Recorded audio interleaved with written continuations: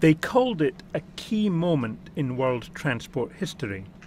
At a ceremony in Las Vegas on May the 5th, Brian Sandoval, the governor of Nevada, handed over the world's first license plate for a self-driving truck to drive on public roads. Freightliner, part of Germany's Daimler Trucks, then took the inspiration truck to the spectacular Hoover Dam and showed it off to reporters. But is the idea of a self-driving truck more than a desert mirage? The next day I took a trip in one to find out more. But before I climbed aboard, a top Daimler executive reassured me I wouldn't be entirely in the hands of robots. There is still a driver sitting in the driver's seat. The difference is that uh, while driving, he hands over the simple tasks of driving to the machine itself. He lets go of the steering wheel, he lets go of the, of the accelerator paddle. he lets go of the brake paddle and basically hands these things, these functions over the truck. The truck does that as long as he's able to do so.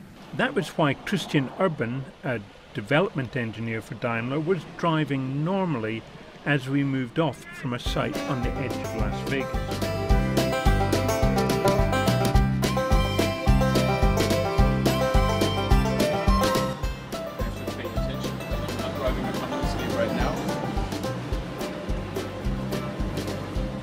It was only when the truck recognised it was on a road that it took over. Press the resume button for the cruise control and I'm driving autonomously right away. It was an eerie feeling watching the truck spotting and negotiating bends in the road. So we will have a slight S-curve right here so you can see it's going to follow the lane the truck uses a system of cameras and three separate radars to follow the road ahead and look out for obstacles coming from the side. Then, when the system knows it's going to do something complicated, like making a turn that's better done by a human, it hands back control. Daimler says the system should take some of the strain off long distance truck drivers by giving them breaks from long hours of tedious concentration on straight roads. But unlike the fully autonomous vehicles that Google and some other companies are developing, they've kept an important role for drivers.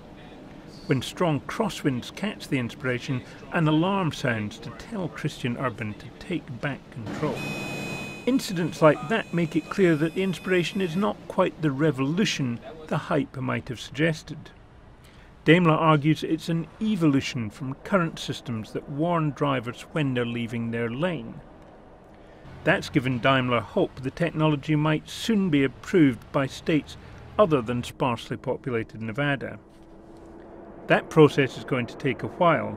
The company expects it to be at least five years before it has the inspiration on sale to commercial truckers. For the foreseeable future, however, it's not going to be possible to see a tractor trailer driving autonomously on a public road anywhere other than Nevada.